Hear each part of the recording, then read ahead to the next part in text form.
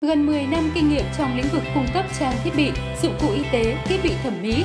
Thiết bị y tế Hà An Phát tự hào là thương hiệu uy tín, luôn nỗ lực phục vụ khách hàng, nỗ lực thay đổi để tốt hơn nữa.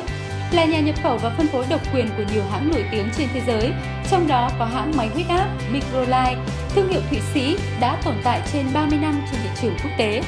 Với mong muốn mang đến sự đảm bảo cho sức khỏe của gia đình bạn, chúng tôi tự hào mang đến một sản phẩm chất lượng, uy tín, máy nhiệt kế đo chán Microlight FR1D Z1.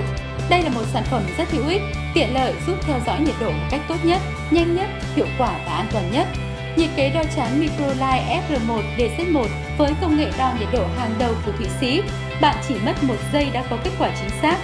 Microlight FR1 DZ1 dùng cho gia đình, trong y tế, tiết kiệm thời gian và an toàn vệ sinh, đo nhiệt độ cơ thể, vật thể và môi trường.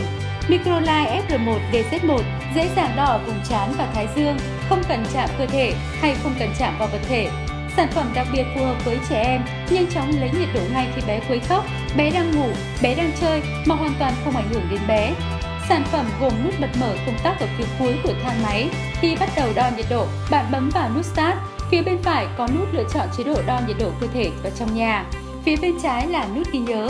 Máy có thể ghi nhớ đến 30 kết quả. Đặc biệt, máy có chế độ cảnh báo khi nhiệt độ cơ thể lên đến 37,5 độ. Máy dùng màn hình LCD 4 số giúp nhìn kết quả rõ ràng và sử dụng pin 3A rất thông dụng. Ngoài ra, Microlight FR1 DZ1 có chế độ tiết kiệm pin tối đa khi không sử dụng sẽ tự động tắt sau 1 phút. An toàn, hiệu quả. Hãy chọn ngay nhiệt kế đo chán Microlight FR1 DZ1 cho gia đình bạn.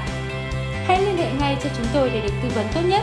Công ty trách nhiệm hữu hạn xuất nhập khẩu thiết bị y tế Hà An Phát, địa chỉ tầng 2 số 43 Giảng Võ, quận Đống Đa, Hà Nội, điện thoại 043 736 9089